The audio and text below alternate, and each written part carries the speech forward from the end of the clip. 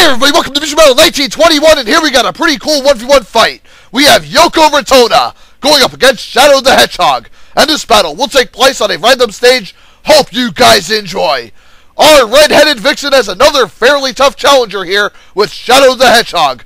Will she bring the dark spiky one to his knees, or will his speed leave her in a daze? Should be a pretty good battle right here. And Yoko's already an X. Look at that. She needs her best for Shadow.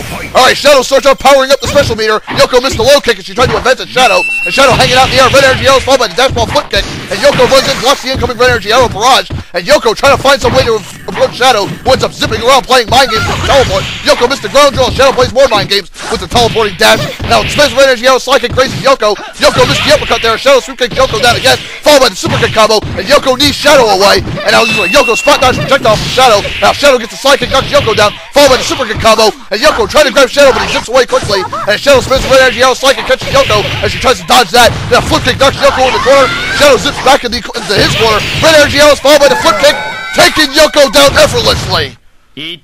And Shadow takes round one without breaking too much of a sweat. Can Yoko bounce round back in round two. two?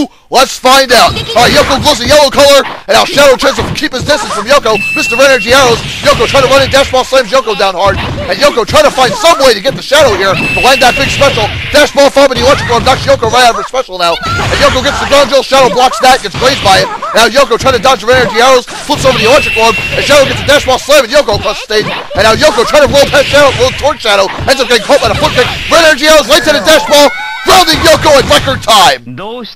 And Shadow completely demolishes Yoko 2-0, nearly flawlessing her in this round.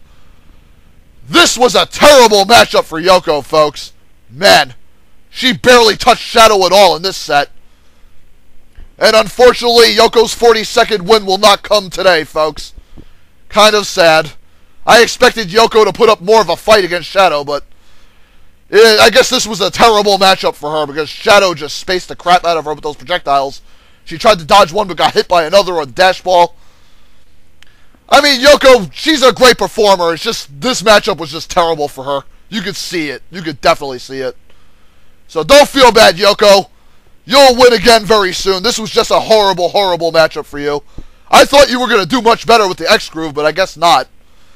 And Apparently for Shadow, he gets a big win today. I mean, Shadow doesn't see... I mean, Shadow's been out of action for a while. I haven't really used him much. But he pulls out a nice big win on Yoko. Not very many people could beat her. So good job, Shadow, for a big win. Nearly double flawlessing her. That's pretty extreme. Anyways, hopefully Shadow will win his next fight, and hopefully Yoko will win her next fight. We'll see. Anyway, stay tuned for Mugen Battle 1922 coming soon. Later, all.